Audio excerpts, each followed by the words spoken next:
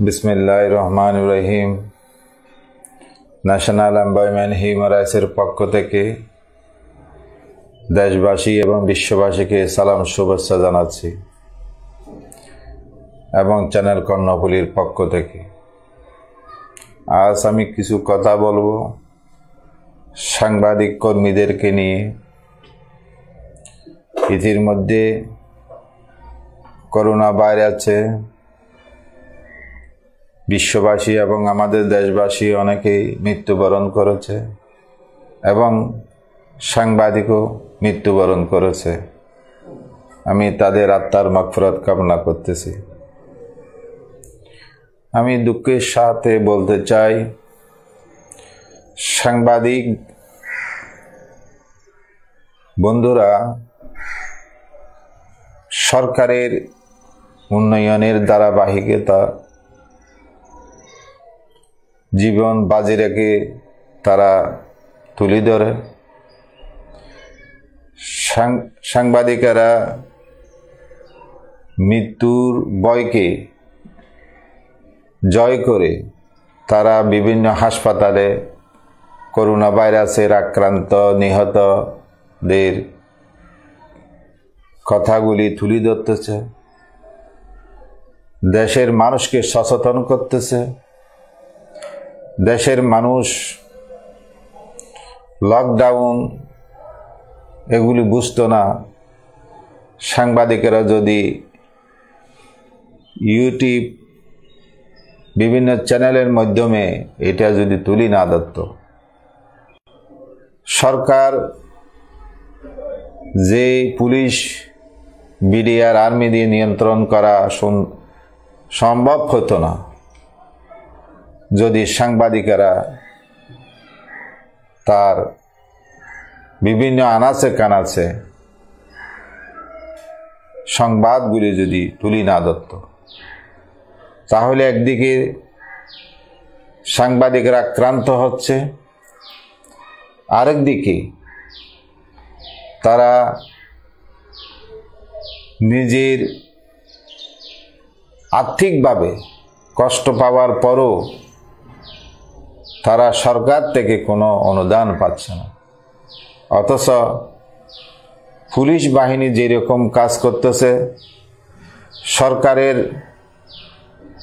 প্রশাসনিকভাবে যেই কর্মকর্তাগুলি কাজ করতেছে, তার থেকে বেশি কাজ করতেছে সংবাদ কর্মীরা। সংবাদ কর্মীরা সরকারের উন্নয়ন যেমন তুলি ধরে যেখানে গম, চাল চুরি হচ্ছে, এগুলি সংবাদকর্মীরা তুলি ধরতেছে। সরকার জানতে পারে। না হয় এত বড় দেশে বিভিন্ন আনাচে কানাচে এই কথাগুলি কিসের মাধ্যমে তুলি ধরত? মাননীয় প্রধানমন্ত্রী বক্তব্য রাখে। বিভিন্ন চ্যানেলে এটা প্রচার করে। বাংলাদেশ টিভি, বিটিভি, তার দর্শক সংখ্যা মনে হয় পাঁচ পাঁচশো নাই। আর বাকিরা ইউটিউব দারি যারা আছে, চ্যানেলগুলি, এবং মোবাইলের মাধ্যমে সারা পৃথিবীর মানুষ একটা বাসনকে প্রচারের মাধ্যমে সবার কাছে কাছে চলে যাচ্ছে। এটা হলো সাংবাদিকদের একটা তার, আমি বলব তাদের একটা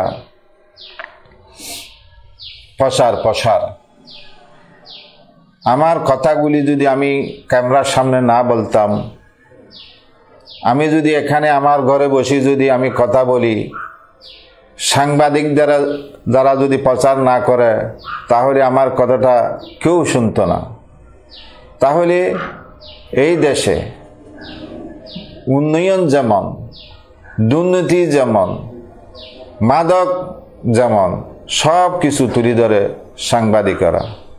এবং যেখানে অন্যায় হচ্ছে, অবিচার হচ্ছে, সেখানে সাংবাদিকেরা জীবন বেজে রেখে তুলে ধরে। অথচ এর মধ্যে অনেক সাংবাদিক মৃত্যু হয়েছে। তাদের সততা এবং দেশের মানুষের দুর্দশা তুলি ধরার কারণে।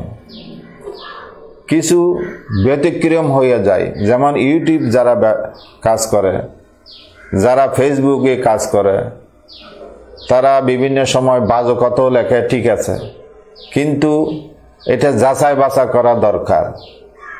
হঠাৎ করে তাদেরকে গ্রেপ্তার করে মামলা দেওয়া, এটাও উচিত হবে বলে আমি মনে করি না। আমি ন্যাশনাল এমপ্লয়মেন্ট হিউম্যান রাইটসের থেকে সরকারকে আহ্বান জানাব। একটা সংবাদ কর্মী অনেক কষ্ট করি তার এ পেশা, সেই দেশবাসীর সামনে তুলি ধরে। তার কথাগুলি হয়তো কোনো জায়গায় ভুলও হইতে পারে। তাহলে সাথে সাথে তাকে সুযোগ দেওয়া দরকার যে তুমি এটা ভুল করছ এই ভুলের কারণে তুমি ক্ষমা চাও অথবা তুমি এটা ডিলেট করে দাও। তারপরে তার বিরুদ্ধে শাস্তি নেওয়া দরকার। যদি সেই না করে সেই অন্যায় করে, দেশের বিরুদ্ধে কোনো রকমের অন্যায় করে, তার শাস্তি হওয়া উচিত আমরা মনে করি।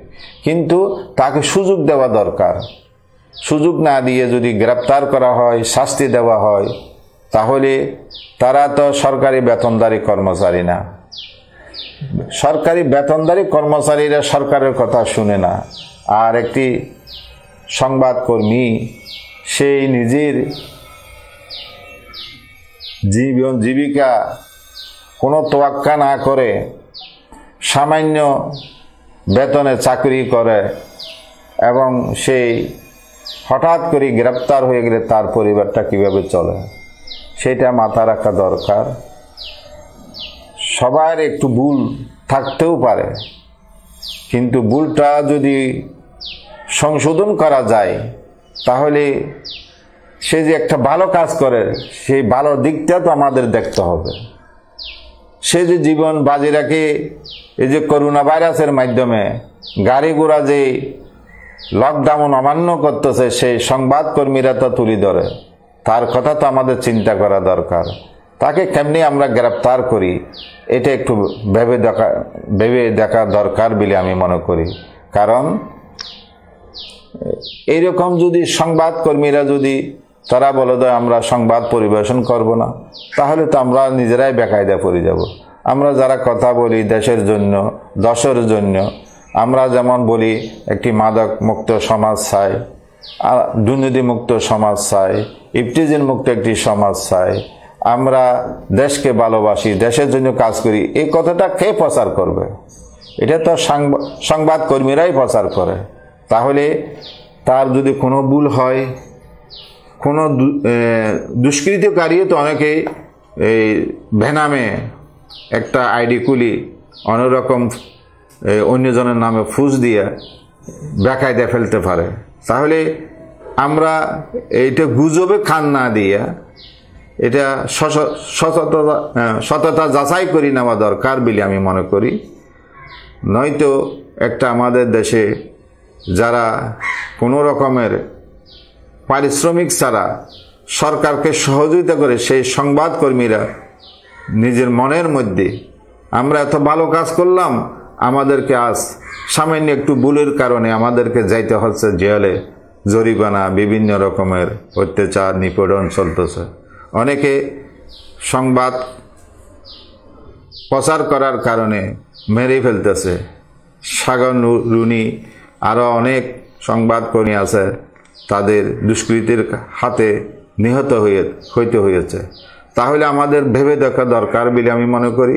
আর যারা আমি মাননীয় প্রধানমন্ত্রী, স্বরাষ্ট্রমন্ত্রী এবং আইনশৃঙ্খলা বাহিনীর কাছে অনুরোধ জানাব যে সংবাদকর্মীরা পরিশ্রম করে আপনাদের কথাগুলি তুলি ধরে আপনি, আপনারা তাদেরকে সহযোগিতা করুন। আর এই দুঃসময়ে তারা যে কষ্ট করতেছে তাদের জন্য কিছু সহযোগিতার হাত বাড়াই দেওয়ার জন্য আমি প্রধানমন্ত্রী, স্বরাষ্ট্রমন্ত্রী, অর্থমন্ত্রীর কাছে আবেদন জানাচ্ছি।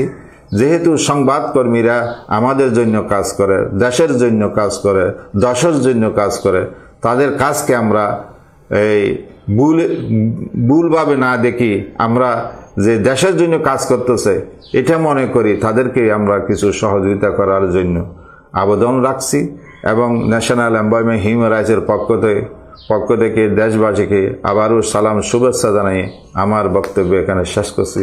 আল্লাহ হাফেজ।